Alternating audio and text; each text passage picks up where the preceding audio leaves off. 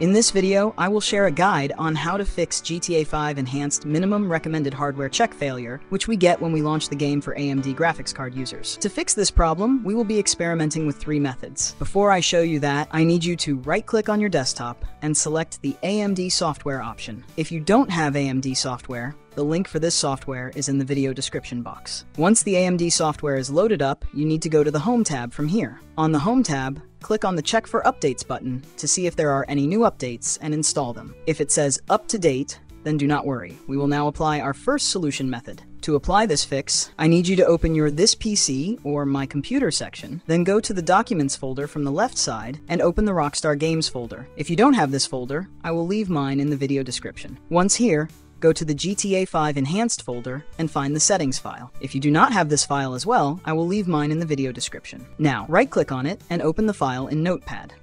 We will put some special code here. For that, I need you to open this page of custom commands and scroll down to the limits section. Here is the limits section. Now scroll down to the commands table. From here, you need to first copy the first line of code. So simply select and copy the whole line of code from here. After doing this, open your notepad and look for the graphics section, which should be at the start of the settings code. Once you find it, click on the very end of it and hit enter to create a new row. Now paste the code here, just like I'm doing on your screen. When that is done, open the web page again, and you need to copy the second line of code from here. You only need this code if your graphics card does not support DirectX 12. Check the description box to learn more. For now, select and copy the code from here. Now open the notepad, and just like before, we will paste this file under the graphics section exactly the way I am doing on your screen. After doing that, click on File from the top and save the notepad.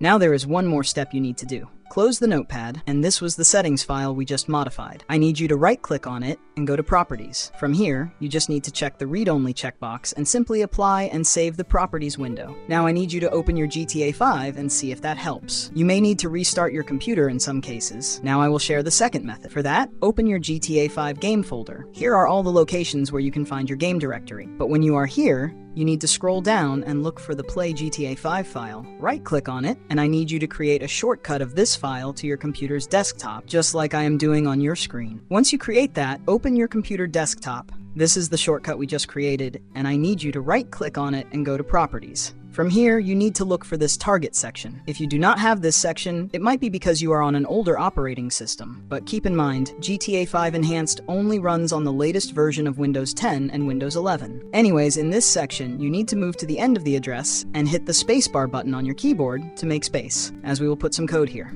I already have the code here in Notepad, but I will leave this code in the video description box for you. Now select the whole code line and copy it from here.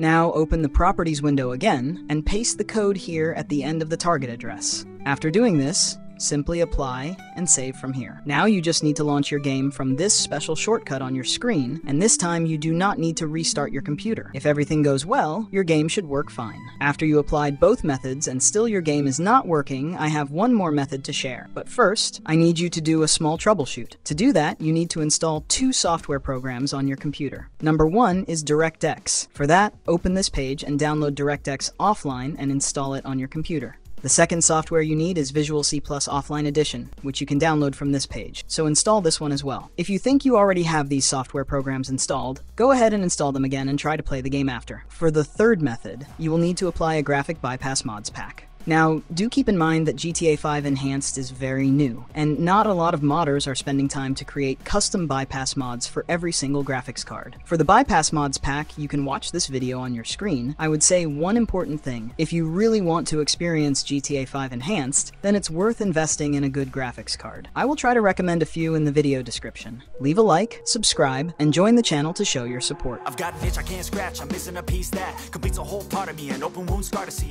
Everybody come here gather round. Welcome to the freak show, the best in town.